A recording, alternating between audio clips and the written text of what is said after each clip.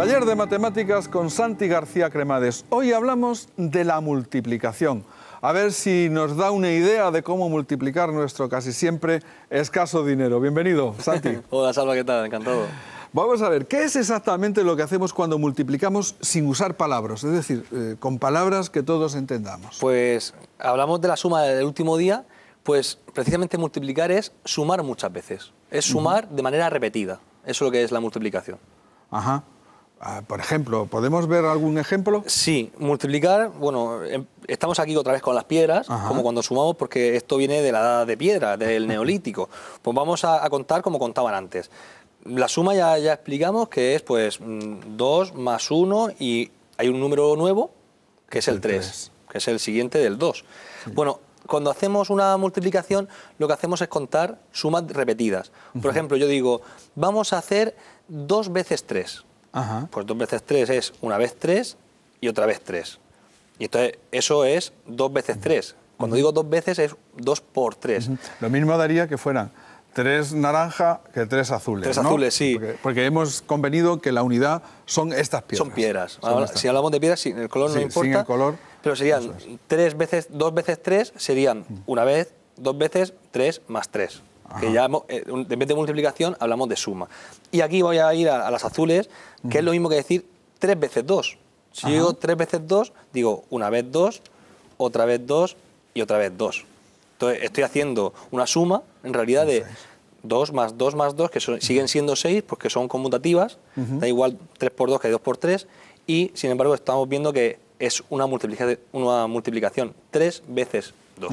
3 por O sea 2. que cuando lo que eh, la operación que hacemos es multiplicar, convertimos un número en la unidad del otro. Y al revés, ¿no? Efectivamente, claro. En vez de contar eh, las sumas, que sumas solamente eh, estamos haciendo el 2 más, podemos hacer más 3, más 4, estamos englobando una unidad, que es dos veces algo, que es Ajá. dos veces, en este caso 3, o si hablamos de 3 veces 2, la unidad ha cambiado, pero estamos haciendo eso, 3 veces ese algo, que en este caso sería el 2.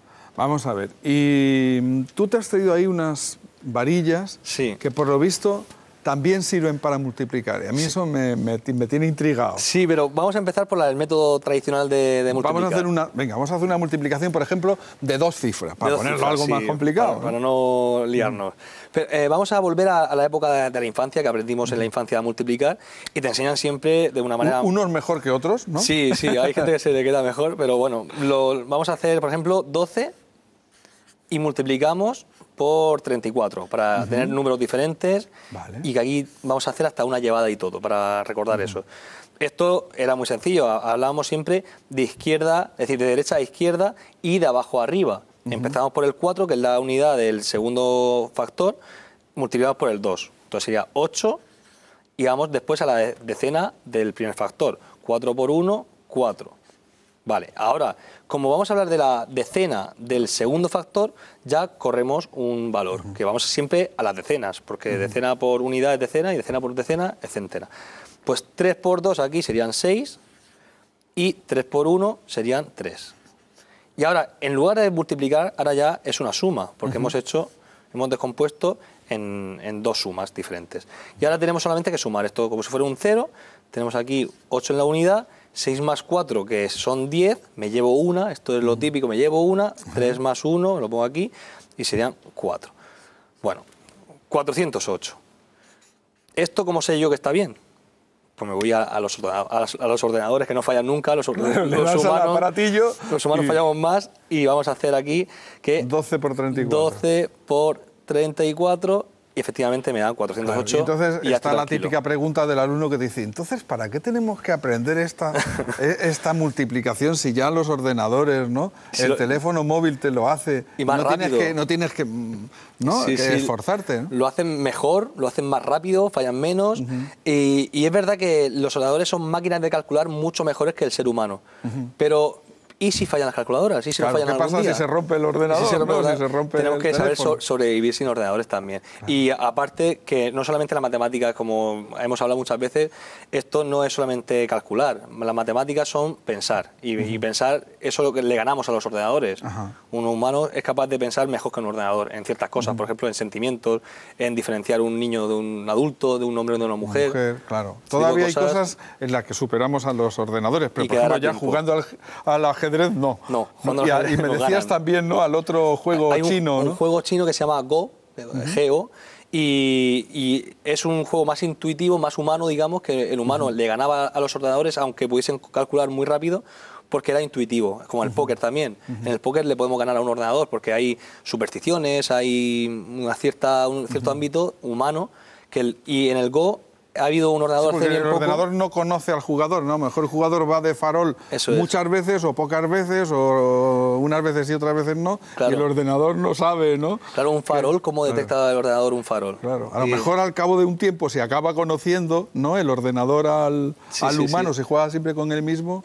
a lo mejor podría. Por eso en la inteligencia artificial está una parte que es el, el algoritmo en sí, que serían las matemáticas que hay de por sí, y después hay una parte que se llama entrenamiento, que es un ordenador aprende a través de la experiencia. Y eso también lo hacemos los humanos, y Claro. por eso se llama inteligencia artificial. Vale, y los palillos esos Claro, que te decía esto antes, ¿no? lo voy a apartar, ya he hecho la multiplicación, me estoy contento, pero vamos a, a hablar de una multiplicación que ya hacían los antiguos, que ya he hablado de, de la- de las piedras, pero también los antiguos jugaban con palos. En vez de numeritos y no se ponían, eh, no hay pinturas rupestres de multiplicaciones, pero sin embargo sí que jugaban con palos. Y vamos a hablar de cómo se multiplicaría con palos. Hace una multiplicación, la- vamos a hacer la misma, 12, voy a Sería uno, un palo. uno y dos, que sea la unidad y la decena. Vale. Lo separo.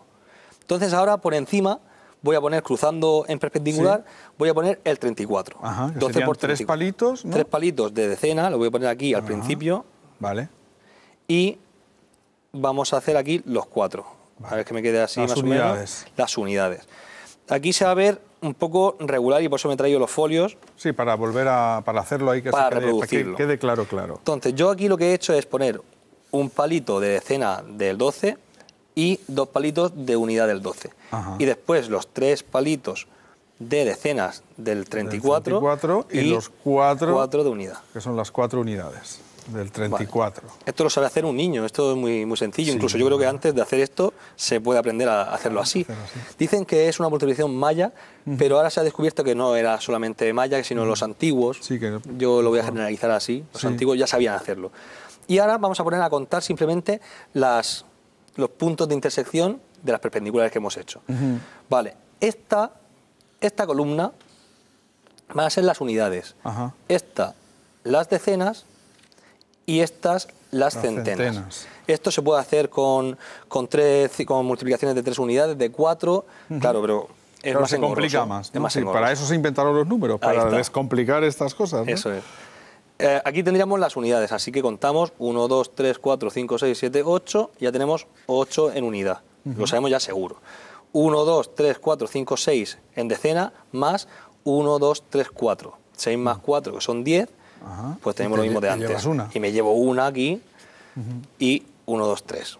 3 más más uno, 1, cuatro. o sea, Con lo coincide. cual tenemos la misma historia. Oye, ¿para qué se inventó la multiplicación? ¿Se sabe en el momento de la historia en el que se inventó y a qué respondía, a qué Pues, tipo de problemas? Igual que te dije que la suma se inventó en el momento que nos hicimos sedentarios y empezamos a cultivar, que ya era, digamos, contar nuestros cultivos y ser óptimos en... Sí, de, de hecho, yo creo que me contaste que empezó la cosa restando, Claro. ¿no? Es decir, porque se llenaba primero el, Claro. el almacén, ¿no? Y luego se iba restando lo que se iba sacando, ¿no? Claro, es más fácil Sí. ir a cazar sin pensar lo que vas a conseguir, sino lo que consigues, pues lo, lo almacenas y después lo que tienes que gestionar es sobre todo cuánto me dura el almacenamiento. Entonces, el- la resta es lo que va faltando, lo que vas restando. Claro, y era lo más importante en aquella época. Eso ¿no? es. Y la multiplicación vino ya después con la contabilidad.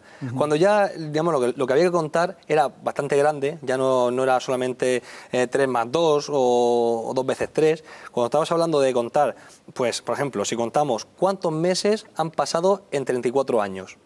Pues en 34 años ya no, si me pongo a hacer 34 Es decir, 12 más 34, 12 más 34, 12. 34, y así, pues, pues es una pesadez. Es una ristra muy grande Sí. y entonces inventó lo que, lo que he comentado de 12 veces 34.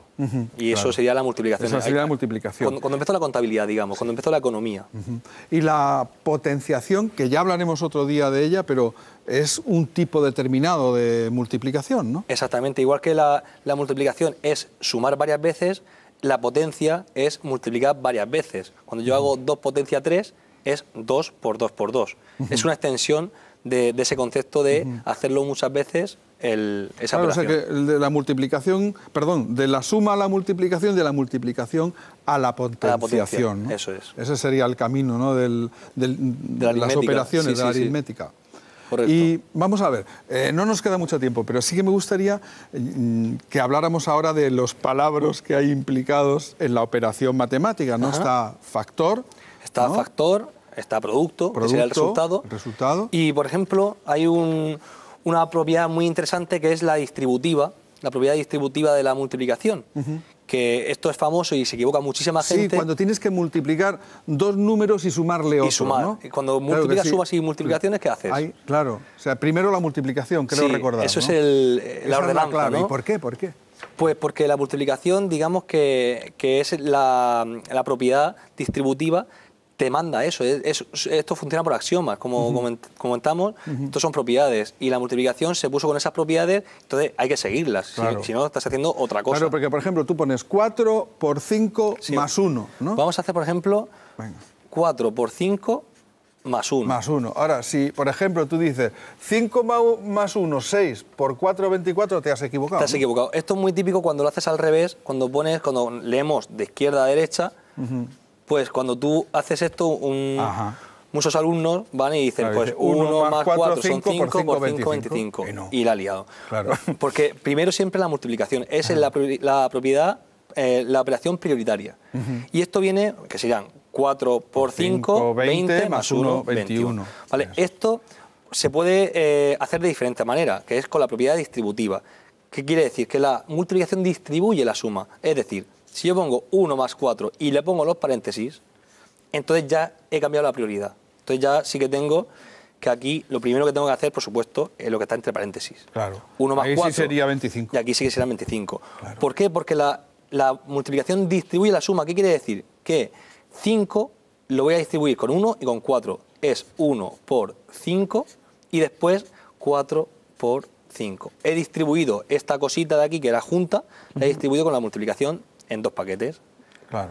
Y arriba no es así. Y arriba no es así, porque arriba no hay prioridades, solamente la multiplicación. Bueno, Eso yo como- creo que ya hemos recordado un poco, nos tenemos que marchar, pero yo creo que esto nos ha quedado claro. Ya Claro. veremos a ver la próxima vez que nos veamos si nos queda igual de clara la división, ¿no? La que división. tiene alguna complicación más. ¿no? Claro, y hay gente que ni, ni se acuerda de dividir. De hay que- dividir, hay que sobre todo por dos o por tres Uf, cifras. ¿no? sí, Pero sí. yo creo que lo vamos a intentar recordar. Gracias, Santi, de Gracias, verdad. Alba.